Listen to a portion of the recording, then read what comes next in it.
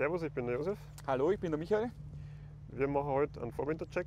Das heißt, wir schauen uns die Einzelpflanze im Raps an und wir schauen, wie der Vegetationskegel ausschaut, ob er abhebt, Mhm. ähm, ob es noch eine Maßnahme braucht. Wir haben jetzt hier äh, eine Pflanze mit 1, 2, 3, 4, 5, 6, 7, 8 Blättern. Ähm, was ist dein Ziel? Also das Ziel wäre, Mhm. äh, dass wir also mindestens acht Blätter erreichen, da also ab acht Blätter der Raps praktisch ähm, seine Nährstoffe unten in der Wurzel einlagert. Allerdings haben wir das Problem, was, was also heuer ist bei der Vegetation, die wir jetzt die letzten vier bis sechs Wochen gehabt haben, weil es einfach so warm war. Äh, ab zwölf Blätter sowas sagt man, äh, besteht also die Gefahr, dass unser Raps abhebt. Ähm, das sieht man am besten am Vegetationskegel.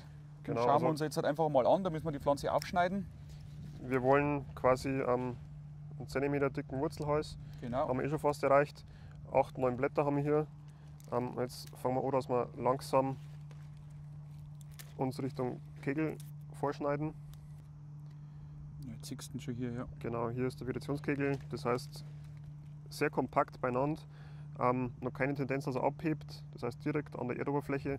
Ähm, maximal frostgeschützt, auch wenn dann die Blätter ähm, sich drauflegen. Ähm, wir sehen ja unten drunter keine Hohlherzigkeit, also ähm, Bohrmangel, vor allem wenn es viele Niederschläge gegeben hat, ähm, kann ein Thema sein. Wenn jetzt da was passieren würde, dann würde der langsam strecken.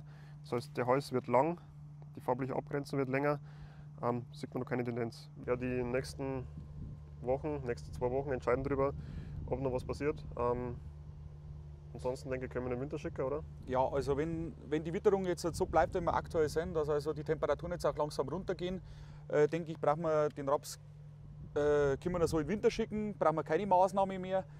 Sollte es natürlich wieder erwarten, im November jetzt auch nochmal so warm werden wie im Oktober und haben wir nochmal ein, zwei Wochen warmes Wetter, dann müssen wir wahrscheinlich nochmal aktiv werden. Okay. Das war's soweit vom Raps. Wir sehen uns. Wir sehen uns wieder. Tschüss.